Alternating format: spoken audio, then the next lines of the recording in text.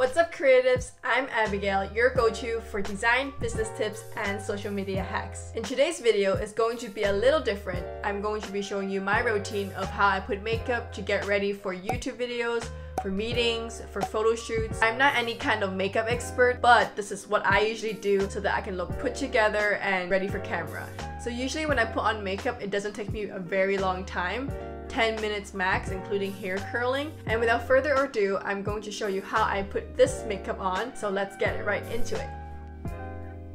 So I usually start with lotion, just so I can hydrate my face first.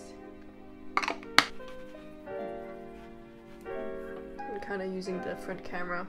So before this, I actually washed my face already.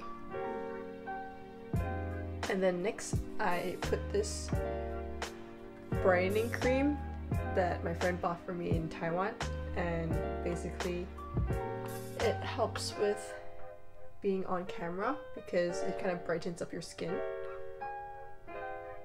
So I don't really use foundation and all that, this is kind of like what I use as a base. I don't use a brush either.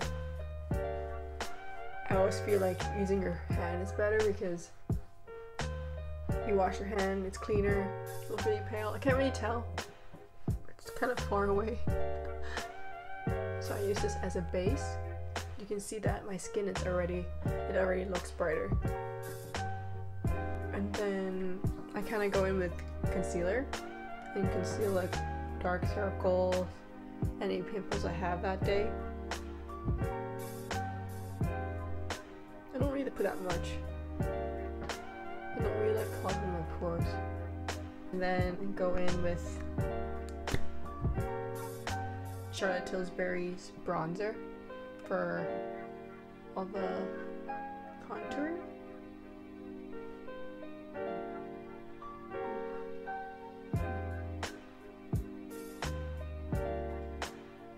Kind of acts like a blush for me in a way, because I don't really put blush either.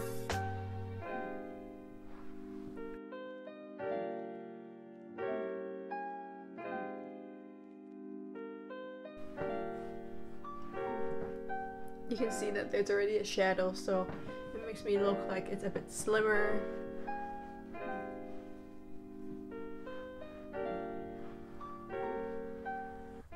You see? And then I go in with Charlotte Tilbury highlighter and kind of highlight the part that I want to highlight. There there. You can't really see unless you take a photo but I don't know if you guys can tell gonna put it there. Oops. You can kind of tell, right?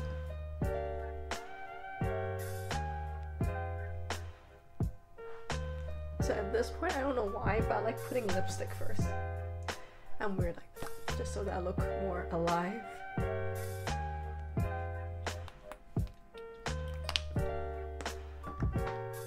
So I usually put this for my YouTube videos just because I like darker colors. So then for eyebrows, I already had my eyebrow semi-tattooed before, so I don't really have to do much. Just fill in a bit.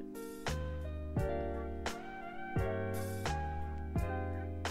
don't know if it's a good idea to look at my front camera doing this. Can't really tell.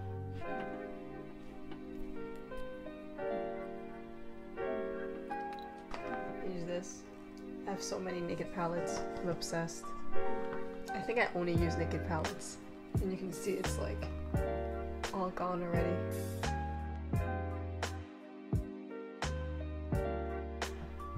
Use darker colors and then kind of go in the side.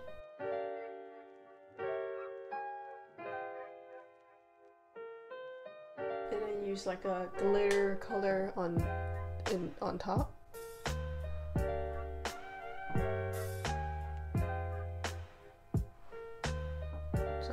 To stand out more.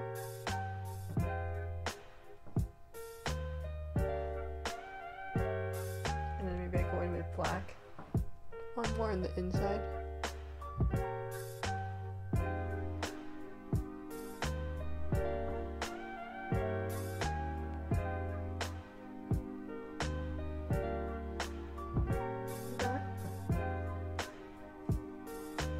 This is my makeup usually. And then if I go on YouTube, then I would put on Glamnetics because they're so easy. You just stick them on. You don't have to use glue or anything. You just use their Glamnetics um, eyeliner and then you just stick their lashes on.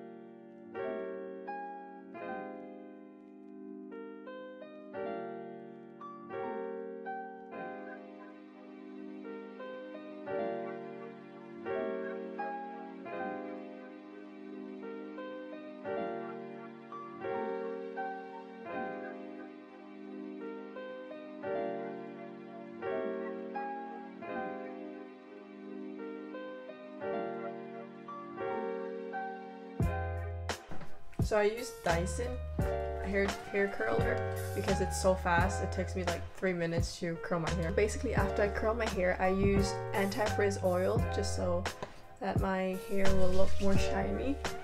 And that's pretty much it.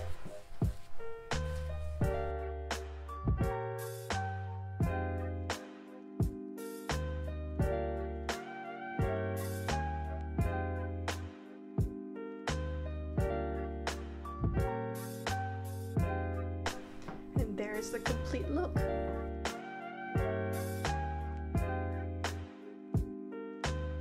I hope you enjoyed this video, you learned a little thing or two, and it doesn't really take a lot of time for me to do my makeup, so this is just kind of how I usually do it. So let me know down in the comments below what are your process and makeup products that you use to get ready for YouTube videos and your meetings. Hit the notification bell, like and subscribe, and I'll see you in the next video.